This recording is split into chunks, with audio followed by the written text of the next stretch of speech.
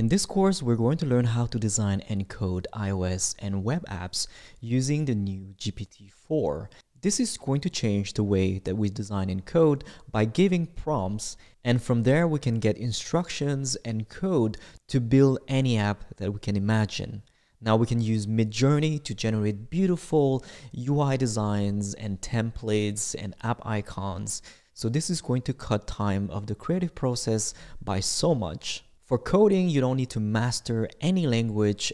You just need to know how to effectively use ChatGPT by being as specific and descriptive as possible, setting the coding style, using the frameworks that you want to use in your project or in your team's project, understanding the difference between web and iOS platforms, and making sure that you're developing an app that has a great user experience and allowing ChatGPT to give you advice on new features, monetizations, and so much more.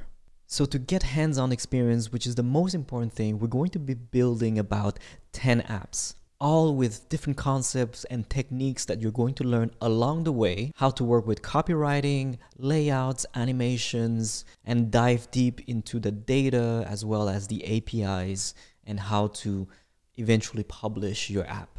On the other side of the spectrum, which is the design process, we're going to learn how to use Midjourney and get the best possible concepts to work from, taking something that is not fully realized with many mistakes and turning that into a production ready app. At the end of the day, inspiration only take you so far. You need to learn how to do the execution, work with typography, colors, design systems. Now, the best part of this is that you're not alone. You're going to be assisted by AI, and I'm here to guide you how to do that yourself so that you can create the best designs possible, even without much knowledge of design or code. We have a lot of topics to cover and many apps to build. I hope you're excited and let's get started.